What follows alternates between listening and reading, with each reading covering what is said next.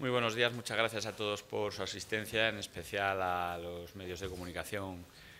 Para ellos va dirigido esta comparecencia y, por supuesto, a los anfitriones, presidente de la Cámara de Comercio y presidente de la Feria, el director de la Feria, el vicepresidente de las Cortes, la senadora por la provincia de Segovia. Muchas gracias, bienvenidos al delegado de, de Valladolid y, por supuesto, lógicamente, al consejero de Cultura y Turismo y Deportes que me acompaña en esta ocasión.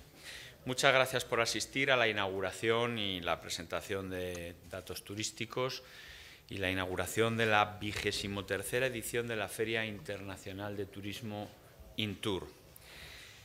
El lema de la feria, ya lo conocen ustedes, es un viaje con infinitas experiencias y queremos situar una vez más a nuestra comunidad autónoma, a Castilla y León, como referencia del turismo nacional e internacional y además un turismo eh, de calidad, un turismo, por supuesto, diverso y multicultural. Esa es nuestra apuesta. Hablaba de, eh, turismo internacional y decir que este, esta edición contamos con un eh, invitado especial, que es Portugal, el país invitado, un país con el que compartimos muchas cosas y en especial desde Castilla y León compartimos una ruta turística que es la del río Duero, una ruta que queremos seguir potenciando porque tiene una apuesta por el turismo natural, gastronómico, eh, etnológico y también, por supuesto, patrimonial. Decir que esta feria es, por un lado, un encuentro abierto, profesional y expositivo, buscando mm, ser un factor dinamizador del turismo en nuestra comunidad autónoma y también eh, desarrollando y promocionando el turismo. En segundo lugar, lo que queremos es generar negocio, generar actividad económica, con presencia de profesionales y también no solo la presencia de los profesionales, sino que los profesionales puedan intercambiar experiencias comerciales, puedan realizar contactos, puedan en definitiva eh, potenciar esas relaciones interprofesionales que permitan, eh, pues como digo, materializar en proyectos comerciales de futuro. Para nosotros, en nuestra comunidad autónoma, eh, el turismo es un sector estratégico. Le voy a dar algunos datos con posterioridad, pero decir que queremos seguir potenciando este sector estratégico de la mano del sector. La capacidad de diálogo y de entendimiento del consejero está demostrada y, por tanto, queremos que en los próximos años el turismo sea algo de futuro, lo es de presente, pero todavía muchísimo más de futuro. Fíjense, el turismo representa el 10% del Producto Interior Bruto de nuestra comunidad autónoma, con un gasto eh, turístico en torno a los 2.000 millones de euros, más de 31.000 empresas turísticas, más de 8.000 alojamientos turísticos y da empleo a casi 75.000 eh, eh, personas en nuestra comunidad autónoma. Los últimos datos que tenemos ha crecido el empleo en el sector servicios, en el sector de turismo y algo de lo que nos sentimos muy satisfechos. Decir también que las cifras en consonancia con los viajeros y con las pernoctaciones siguen creciendo. Por un lado, hemos superado ya los 7.600.000 visitantes y 1.400.000 eh, pernoctaciones en lo que se refiere a estos meses que llevamos del año 2019. Vamos a afrontar ese futuro del que yo hablaba con nuevas estrategias. Por un lado, queremos que haya turismo todos los meses del año. En segundo lugar, también queremos que el turismo rural sea algo, eh, un elemento fundamental eh, turismo rural vinculado al medio ambiente, al medio natural, al patrimonio y, por supuesto, eh, a que ese turismo permita un turismo, un grupo de visitantes sostenible y también accesible. El español como recurso económico y turístico y, por último, también eh, queremos apostar por los mercados internacionales. Voy a desgranar, por tanto, estas cuatro líneas estratégicas de futuro. Por un lado, he hablado de que haya turismo, desestacionalizar eh, el turismo, los visitantes, con un programa basado en una especialización de producto por un lado y por otro lado en la segmentación de mercados. ¿Cómo? Cuatro líneas de actuación. Oferta de congresos de eventos todo el año y además especialmente hacia periodos valle donde es eh, poco frecuente que se puedan realizar los congresos en nuestra comunidad autónoma.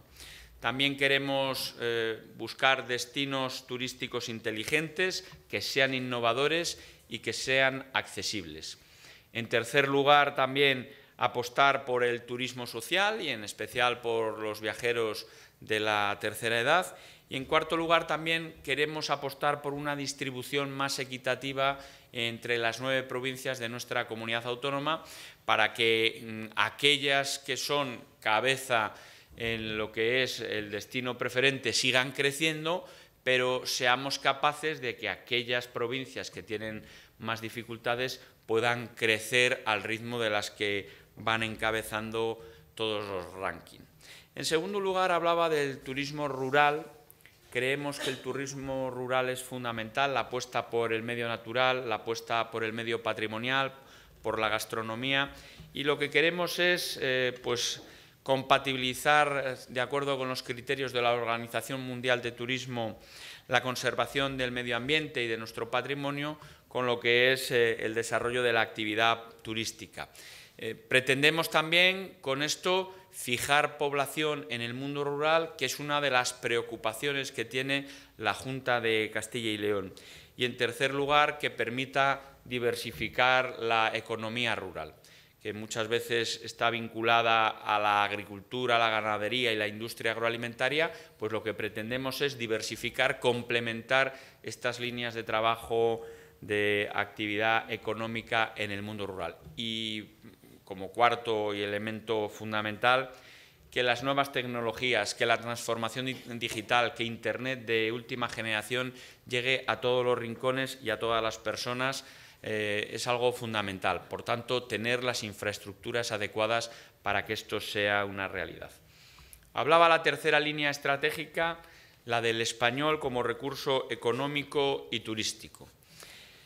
Queremos consolidar, por tanto, la presencia de los estudiantes de español en nuestra comunidad, con un total de 50.000 alumnos extranjeros que vienen a visitar Castilla y León, a estudiar español. Somos una comunidad autónoma donde se habla muy bien el español, el castellano. Somos una comunidad autónoma donde se vive muy bien, donde hay un entorno seguro para que las personas que vienen de, otras, eh, de otros países, especialmente los menores de edad pues tienen un entorno familiar y seguro en nuestra comunidad autónoma. Vamos a trabajar también en la formación y en la capacitación de los profesionales del sector, eh, precisamente para mejorar, para ampliar, para diferenciar la oferta idiomática de Castilla y León de otras eh, comunidades autónomas. Y desde luego queremos eh, también aprovechar el interés que despierta nuestra lengua para apostar por el fomento de eventos culturales y turísticos de la mano de la Red Mundial de Hispanistas. Me parece que es algo especialmente importante. Y por último, también culminar el Centro Internacional del Español, que tiene su sede, como saben, en Salamanca, de la mano de la Universidad de Salamanca. Eh, por último, la cuarta línea estrategia que les había mencionado, acercar Castilla y León a los mercados internacionales. Ahí vamos a actuar, en primer lugar, promocionando Castilla y León en nuestro país hermano y vecino como es Portugal. También queremos apostar eh, por eh, el aprovechamiento de las infraestructuras del tren de alta velocidad que permite el acercamiento de los destinos internacionales a nuestra comunidad autónoma y luego también de la mano de Tour España vamos a diseñar una campaña de promoción turística para promocionar fuera de nuestras fronteras españolas la comunidad autónoma de Castilla y León como destino turístico de primer nivel. Muy bien, por tanto ya mis últimas palabras tienen que ser para agradecer a todos los que hacen posible la celebración de esta feria, a todas las personas, mujeres y hombres, que hacen que esto sea una realidad, esta edición número 23, y no me quiero dejar a nadie, por tanto, que todo el mundo se sienta incluido en ello y, por supuesto, agradecer a los medios de comunicación su, eh, participación en este acto que ahora lo que hago ya es invitarles a visitar la feria con todas las autoridades que nos acompañan. Muchas gracias a todos.